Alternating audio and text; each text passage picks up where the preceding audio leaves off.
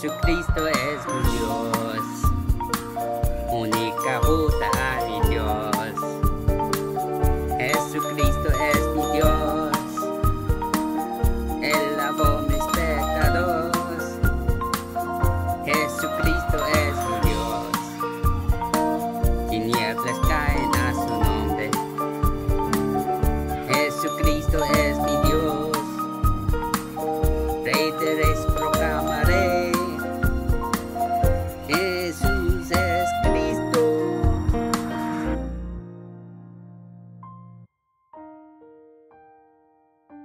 Jesús es el Cristo, la semilla del cielo para disfrutar de la verdadera felicidad. Otra parábola les contó Jesús. El reino de los cielos es semejante a un grano de mostaza que un hombre tomó y sembró en su campo, que de todas las semillas es la más pequeña, pero cuando ha crecido es la mayor de las hortalizas y se hace árbol, de modo que las aves del cielo vienen y anidan en sus ramas. Mateo capítulo 13, versículo 31 a 32. En Mateo 13, 31 a 32, Jesús habló de la semilla de mostaza como una parábola del reino de Dios. Hoy muchas personas se han reunido para escuchar las palabras de Jesús, para que la gente pudiera ver y escuchar a Jesús. Jesús cruzó la barca un poco lejos de la costa y pronunció sus palabras.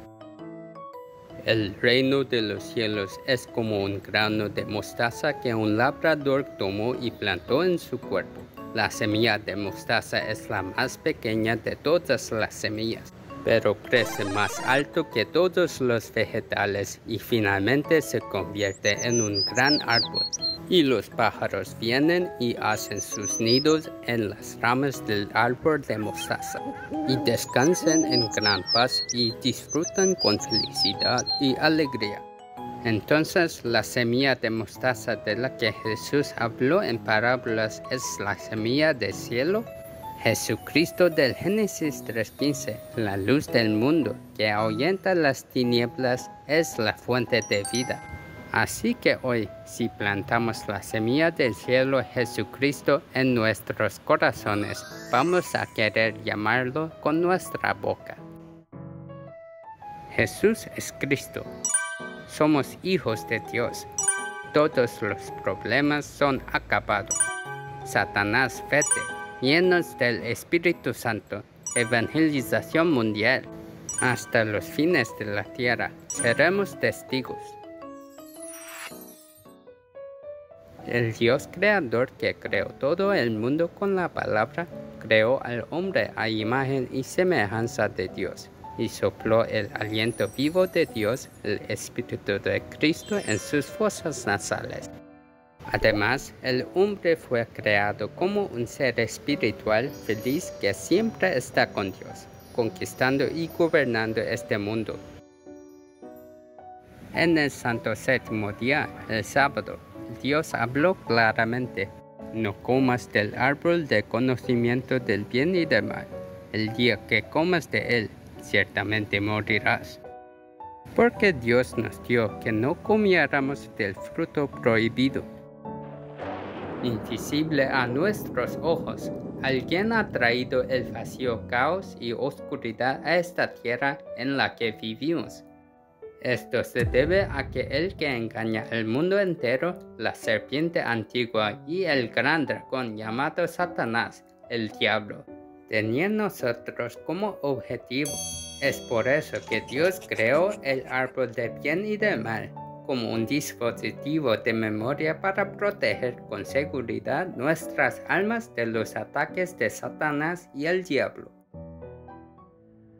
Sin embargo, Adán y Eva fueron engañados por las mentiras de Satanás en Génesis 3, quebrantaron la palabra de Dios y cayeron en pecado y fueron atados por Satanás.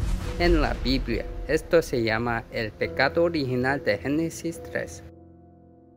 Al final, todas las personas nacidas como descendientes de Adán están atrapadas en el pecado original de Génesis 3. Por eso, nacimos como hijos del diablo, el padre de la mentira en Juan 8:44. Además, no tenemos otra opción que vivir en un estado de destrucción donde estamos enfermos de mente, espíritu y cuerpo y somos arrastrados al infierno según los deseos de la carne.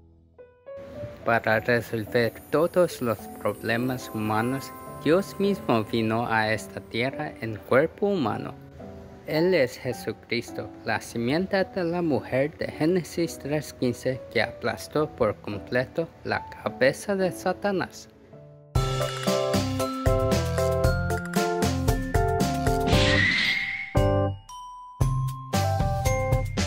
Génesis capítulo 3.15 La simiente de la mujer Jesucristo aplastó completamente la cabeza de Satanás. ¡Ya! En el nombre de Cristo hay el poder del verdadero Rey que destruyó las obras del diablo la autoridad del verdadero sacerdote que quitó todos los pecados, maldiciones y desastres. También la autoridad del verdadero profeta que es el único camino para encontrar a Dios. Entonces, cuando la semilla de la vida de Jesucristo sea plantada en mi alma, comenzaré a vivir de nuevo con el estatus y la autoridad de ser un hijo salvo de Dios y el Espíritu de Cristo, el Espíritu Santo, está siempre conmigo y me guía cuando recibo a Jesucristo. Ahora recibo la respuesta a todo lo que oro en el nombre de Jesucristo. También, si echan fuera a los espíritus inmundos que les hablan para no creer en la palabra de Dios, el hombre fuerte que está dentro de ustedes, y invocan el nombre de Cristo, vendrá el reino de Dios.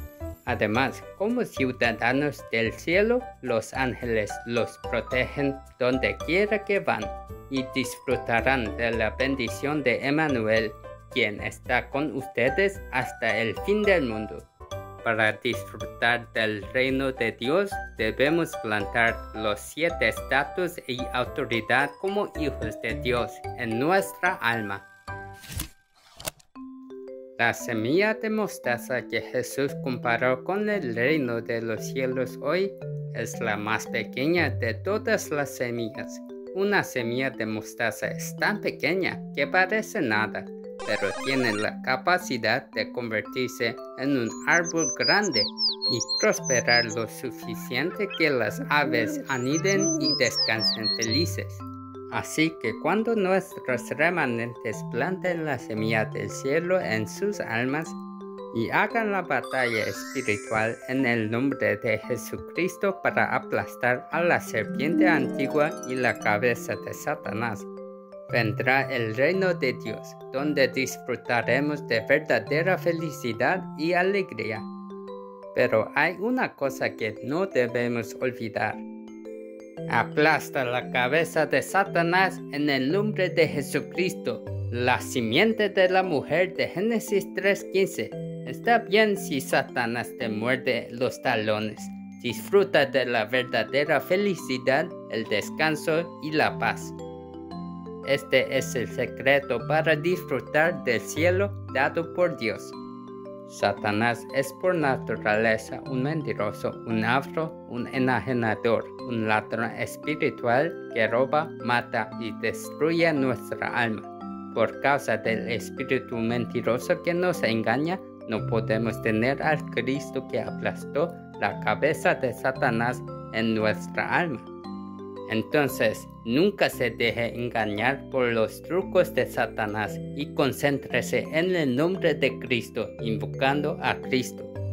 Soy un hijo de Dios que plantó la semilla de Jesucristo. El Cristo que aplastó la cabeza de Satanás está conmigo como el Espíritu Santo.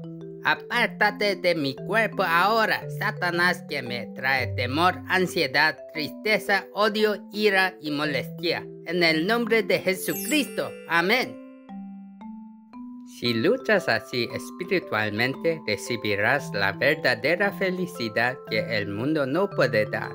Así los bendigo esta semana para que se conviertan en la cumbre espiritual de la misión de la diáspora que continúa la batalla espiritual en el nombre de Cristo. La semilla del cielo plantada en mí y se convierten en maravillosos hijos de Dios para salvar a las 237 naciones. Dios Todopoderoso, gracias por darme a Jesucristo, la semilla del cielo, para salir del estado de destrucción completa, atrapado por el pecado original de Génesis 3.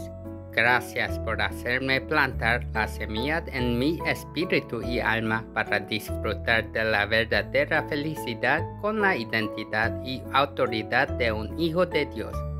Todos los días pelearé la batalla espiritual para vencerme a mí mismo, al mundo y a Satanás, según la palabra de aplastar la cabeza de la serpiente antigua en el nombre de Jesucristo de Génesis 3.15. Permíteme convertirme en la cumbre espiritual que sueña y me desafía al sueño de la evangelización mundial. Oro en el nombre de Jesucristo. Amén.